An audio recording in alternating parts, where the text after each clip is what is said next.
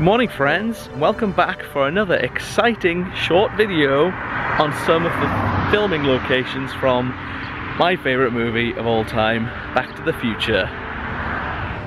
If this view looks familiar, it's because this is the long street where at the end of Back to the Future 3, Marty does the drag race, almost.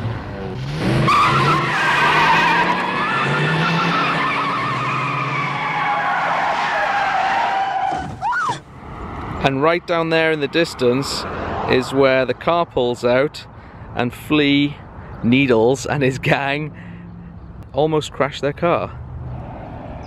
So Marty and Jennifer drive their truck down this road which is called Doris Avenue in real life and then they pull up right across the road from Hilldale Estates. Hilldale, this is where we live.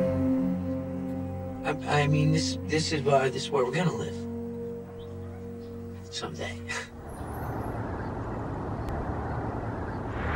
I actually almost forgot about this location because I was on my way to another even more important one.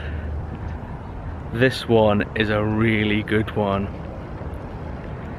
See this train track? Does it look familiar to you? Maybe it would look a little more familiar if there was a bridge down there.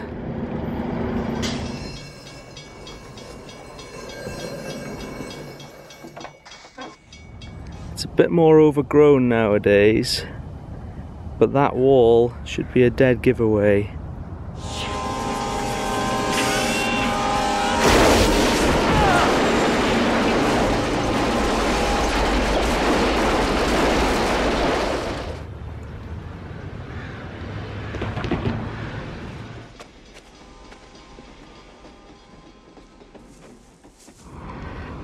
This is the bit where he gets blasted over the little hedge and the final resting place of the DeLorean.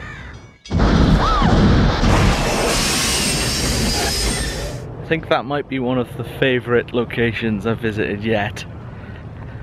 Okay, a little bit of a break from Back to the Future for just a second.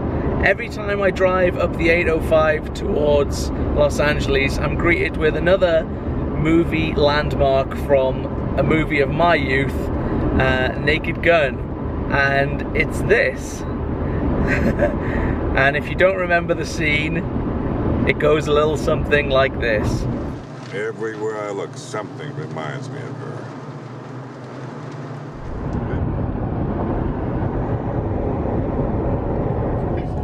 Through this tunnel is where Marty gets chased on his skateboard doesn't look quite as long in real life. I'm sure there was some movie magic involved.